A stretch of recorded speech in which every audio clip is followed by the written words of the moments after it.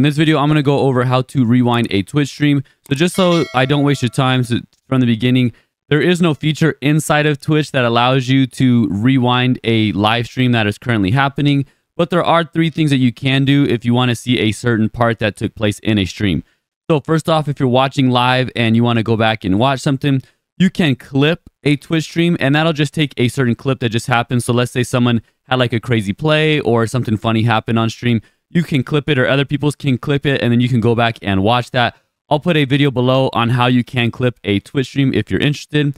The next thing that you can do is a lot of streamers save their streams as VODs, and those VODs will stay on the channel for a certain amount of time. So once your stream ends, it'll be saved and placed on the channel as a, uh, a save stream, as a VOD. And you can go back and watch certain parts of it if you want to do it that way. And you can even clip that as well. And then lastly, a lot of streamers these days are multi-streaming. So they're streaming on Twitch and onto YouTube.